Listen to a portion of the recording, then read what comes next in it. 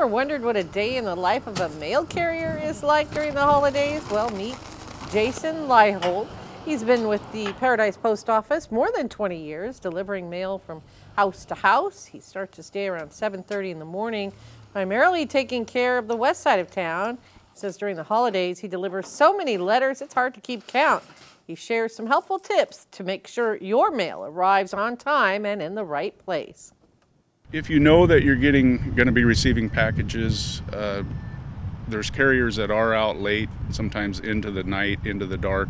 So you know, leave your porch lights on, uh, leave a clear path to the porch, so that way we can get get up there and put your packages on the porch and feel safe doing it. Uh, it helps us out. Leidholdt also recommends you double check to make sure your address is written correctly I know how hard he works. My dad is a retired letter carrier. Now, if you want your packages delivered by Christmas, the deadline to ship Priority Mail is December 20th. That's tomorrow. And for Priority Mail Express on the next date, December 21st.